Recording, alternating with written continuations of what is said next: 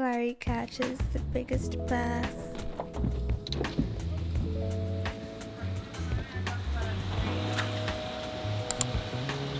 Hey, good morning. Welcome to Chick-fil-A. Can I get a name? Larry, What can I get for you? can I have a bacon and cheese biscuit meal with uh, the... Alright, it'll be $6.49. We'll be happy to serve you at the window. Okay, you. My pleasure. All right, guys, we have a rainy day today. So I figured there's no better day than today to do a what's in my tackle bag slash a tackle organization video. We're gonna do it in my dad's garage today. These videos you guys seem to really like, especially like over time, you know, whenever it rolls back around the spring, I like to go ahead and post it in December so you can enjoy it in, in December. And then seems like a lot of people kind of circle back around whenever it's time to get back into bass fishing because I show you what's in my tackle box. I'm gonna clean out all my tackle boxes because I did a lot of fishing this year. I caught a lot of fish on a lot of different lures. Everything needs to be reorganized. You know how it goes. It's a long day. You get back home, it's about 10 o'clock at night. You don't throw stuff where it's supposed to go. I just put stuff in whatever box has the most available room in it, say I'll clean it up later, and then everything just ends up in one or two or three boxes that I use and it's just a whole mess. I have a lot of stuff that I need to do today. I have a lot of organization stuff I need to do. I'm gonna wipe out all of my tackle boxes and also I'm gonna show you how I fish if I'm on the kayak, if I'm on the twin troller, if I'm fishing a pond, if I'm going on a buddy's boat. I have three different setups, I'm gonna show you all three of those today. And I hope I provide a whole bunch of value. One, show you how I like to organize my stuff. Tackle organization stuff in the wintertime gets me by until spring rolls back around and it's back to pre-spawn, back to really good fishing. You can still catch them good in the winter, but like there's nothing like a good spring bite when all the fish are, when all the fish are just jacked up on shad and Mountain Dew. Stay tuned, to super Pump for today's video. Leave me a comment down below. How do you organize your stuff? I think that's one thing that all fishermen can probably get a lot better is better organization than all fishermen like to just network off of each other and hey, what do you put your stuff in? Because I've seen some pretty creative ideas. So stay tuned, this is just what works for me. When's the last time y'all seen this table? Looks like we're about to make some fishing lures. I might, if you wanna see a fishing lure video, leave a like on the video right now and go spam I wanna see a fishing lure video in the comments. I need to, I need to feel the energy before I set up my stuff again and start back making lures. So let me know in the comments, super simple.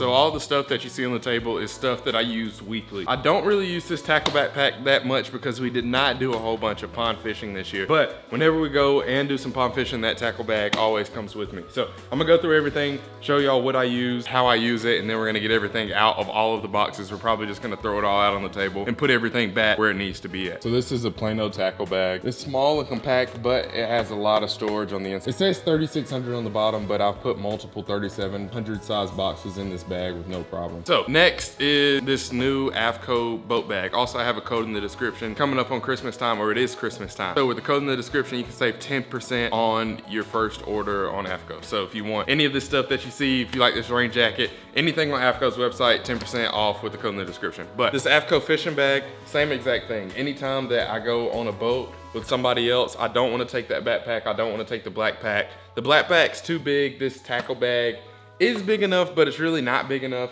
But this thing is perfect. I can put extra reels, line, whatever I need to put in there, snacks for the day. Everything fits in that bag and it all has its own separate compartment. Okay, so these two Plano day bags, these are normally for soft plastics. I just throw these in my truck at the beginning of the day. Load them up with all the generals, Chigger Craws, whatever I think I'm gonna need for the day. Normally they're loaded with MaxScent, so these bags smell like MaxScent. If you can imagine what that smells like, they smell amazing. And I literally just throw a whole bunch of soft plastics that I think I might want to use for the day in these bags. Oh, and also more bags.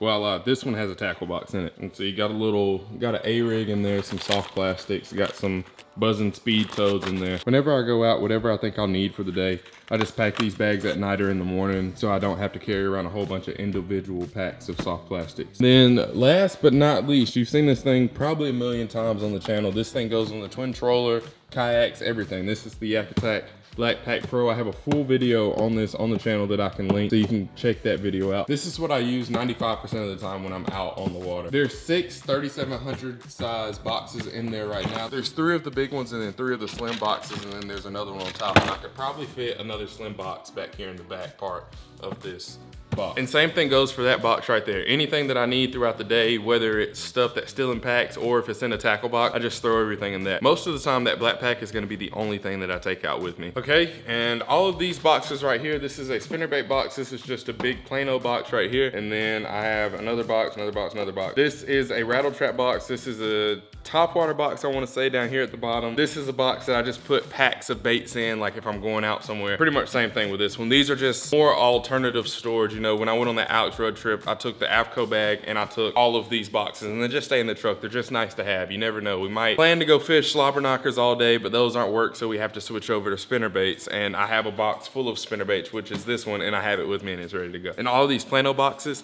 not only do they fit a whole bunch of stuff, but they keep your stuff dry, and that's that's key. Rusted hooks, not fun. Changing hooks, not fun. Not the greatest at it, and it takes me way too long to change out a hook, so having good boxes that keep my stuff dry is a big plus.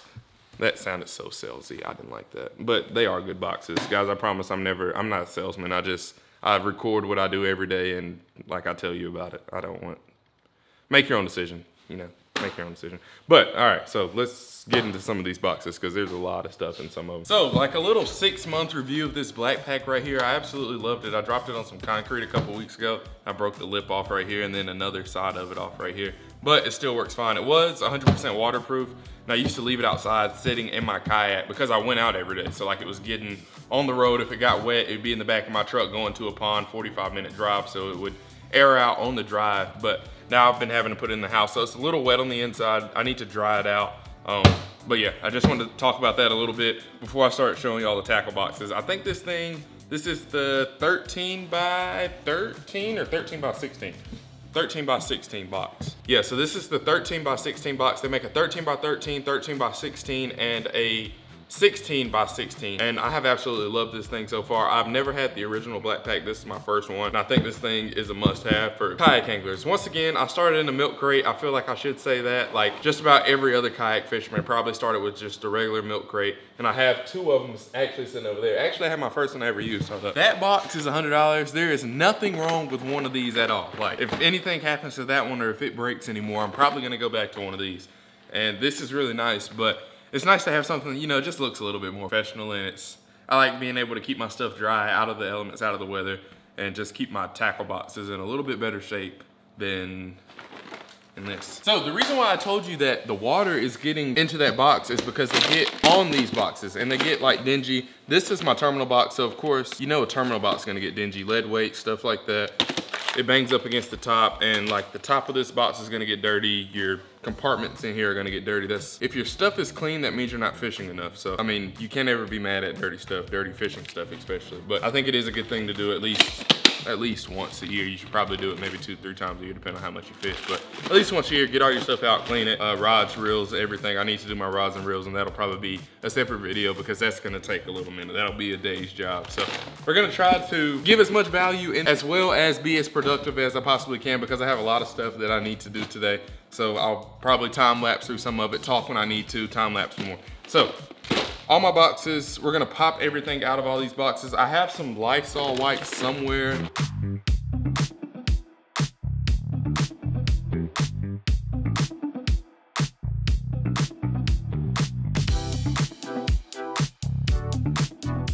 Okay, so I put the Lysol on the inside of this and I just thought about that these are fishing lures and everything that I put in this box after I clean it out, it's gonna smell like Lysol. So we're probably just gonna do water and a paper towel.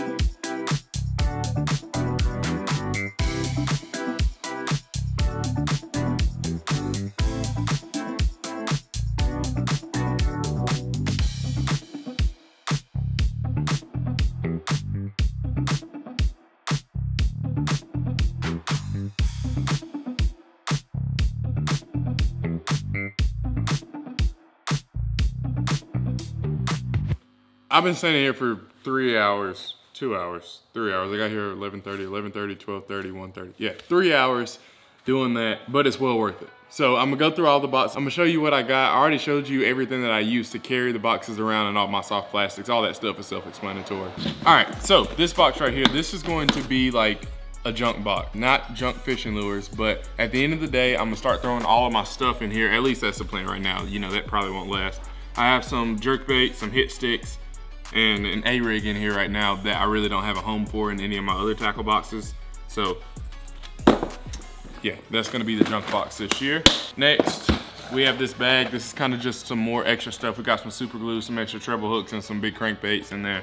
Then also some small like creek fishing spinner bait that I'll use on the Cahaba and some other creeks that I'll be fishing this year, upcoming year, 2023. Man, 2022 feels like it flew by. So this box right here, top water box, we got poppers, poppers, poppers, frogs, frogs, walking baits, walking baits, cane walkers, choppos. So pretty self-explanatory. All this stuff you have seen throughout the year, like this little, this Choppo right here, creek fishing Choppo, that's all I use it for. I only really throw it on creeks. I've caught a whole bunch of fish on it. Also, we have the big beaver down there too. Um, all that stuff is just top water stuff. Frittsides, Fritz sides, Frittsides. These are one of my favorite crankbaits. The second I threw one, I probably, I think I caught my first fish on the Frittside within five minutes of opening the pack and I've been hooked ever since. This size right here, but just the red version. Yeah, so Frittsides, they're really good shallow water crankbaits, cold time, cold time, cold water lures. That's when they really excel, but I, I catch fish on these things year round. If a regular crankbait isn't working, you have some that are silent, and then also they're coming out with the clicking Frittsides now that have a little rattle in them that are gonna be like, when you cast them out, it's gonna be super sweet. So all right, next box, jerk baits, jerk baits, jerk baits. We got not that many jerk baits. We need to re-up on some jerk baits, re-up on our Stunna selection. But like I said, guys, I buy a whole bunch of stuff at the beginning of the year, get a whole bunch of stuff at the beginning of the year, pretty much fish throughout the whole year, lose all of it, and then rebuy it the next year because I fish at least three times a week. So like for eight hours a day, minimum three times a week, but try to go five, you know, Monday through Friday. But you know how it goes. All right, next terminal box. We got it all cleaned up. Uh, this is the one that we put the Clorox wipe in, so all of our hooks are probably all of our hooks are probably gonna smell like Clorox wipes, and we are okay with that. They're gonna smell like Clorox wipes and MaxScent. That's gonna be an interesting combination. If we don't catch anything on the Texas rig next year, it's because all of our hooks smell like Clorox wipes. but yeah, guys, we got a little bit of everything in this box. We got bullet weights, bullet weights, wacky rig, punching, which is something that I'm trying to work on learning this year three aught, four aught, five aught, straight shank, round bend. Those are kind of mixed in. I didn't separate all those. I just kind of go in, grab whatever I need. We got shaky heads, underspin stuff, pegs for Texas rigs, weighted belly hooks. Let me show you guys these. Let me put y'all on something. So if you're like me, you're not that patient. I'm not patient at all. I'm not diagnosed ADHD, but I probably am a little ADHD. So if you're like me, I fish like power jerk shads. I used to be really into them, power jerk shads, flukes, stuff like that. Really, this is the only way that I like to fish flukes now is with the belly weighted hook because it's just a lot faster. You know, I don't have to cast it out. I can cast it a lot farther, first of all. I don't have to cast it out, wait 15 seconds before I can start retrieving it before it's like hit a good depth. So belly weighted hooks, a must have. But yeah, in this box, we got Ned rig stuff, Ned heads, and extra treble hooks. And then also we always keep red treble hooks in there.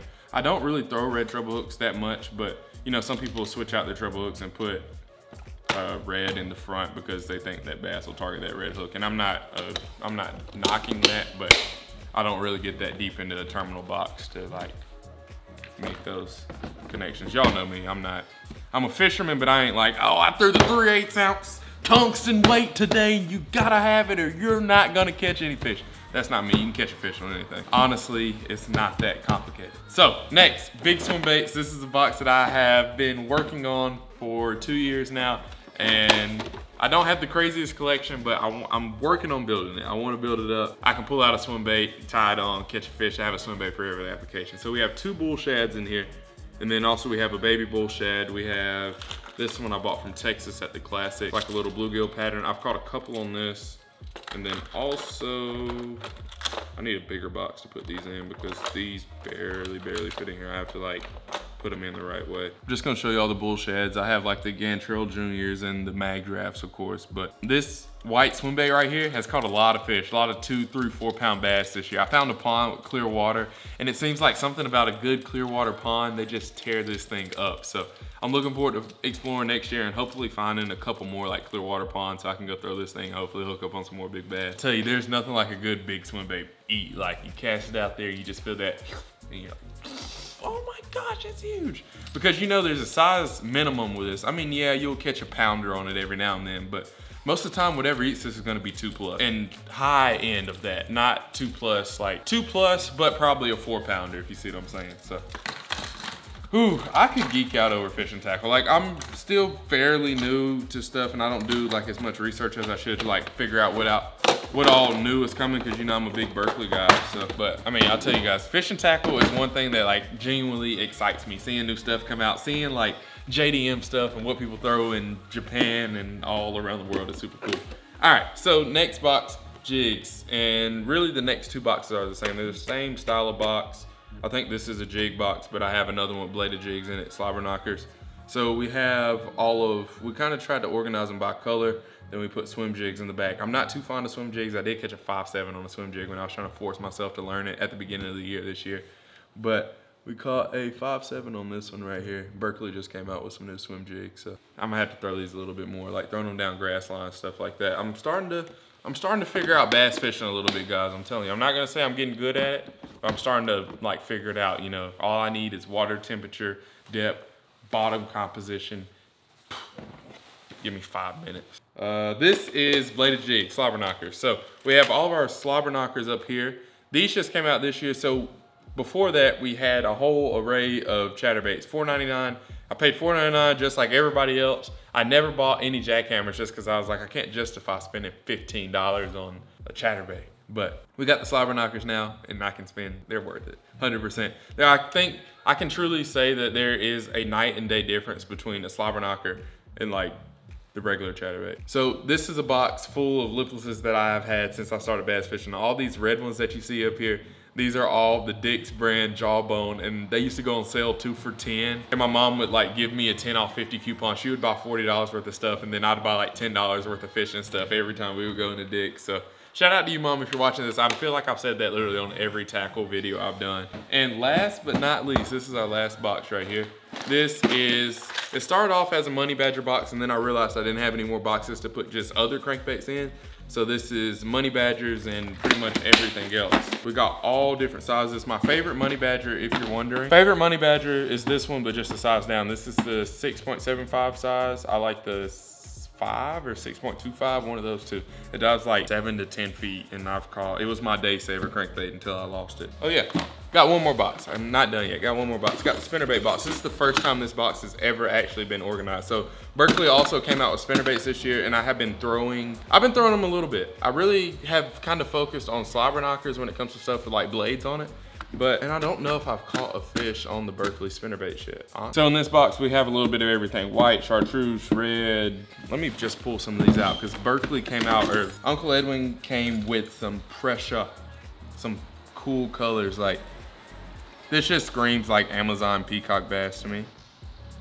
A little chartreuse, a little bit of green, a little bit of orange in there with a small, small Colorado blade. We got a, kind of like a natural color. It's not necessarily white. It's more like that white, little dirty, but not dirty color with the big shiny blade with the orange little, the big gold blade with the orange little, got the orange blade on there too. Then we got the red, you know, you can never go wrong with red. This is a good red time of year right now all the way from now until spring. You can always, you can. I feel like you can get away with throwing red year round, but now until spring, late spring, late post spawn, or into post spawn, I think you pretty much good with throwing red. We got some white in here. We got a little bit of everything. I think a couple of these have trailers on them too. You know what? Actually, I'll take that back. I take that back. I have caught a fish because I caught a fish on this one right here. Yeah, so all these things are super sweet, guys. If you want to check out, next time you're at your local tackle shop, definitely just pick up one of these packs, look at it, check it out. Let me know what you think about it. Let me know what you think about all the stuff. And then also Berkley came out with a lot of new stuff this year, like slobber knockers, spinner baits, money badgers, and a lot of really, really good lures. So I'm super excited for 2023 to really have a full year to go around to all my different ponds, throw all the stuff. Thank you for hanging out with me. The hunt for a deer is still going on.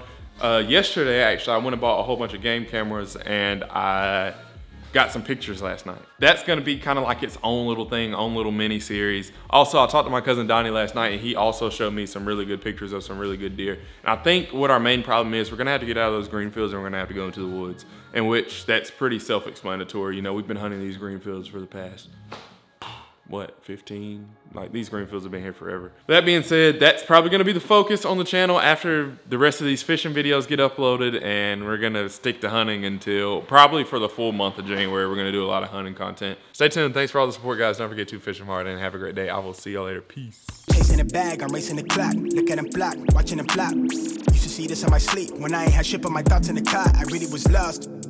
Now I'm public with the soundscapes. Also, if there's anything that you saw that I didn't cover, that I didn't talk about, or anything that you want to know, sizes, anything like that, just leave a comment down below. Thanks again. Peace. See y'all later. I don't know what to I don't know what to do with my hands.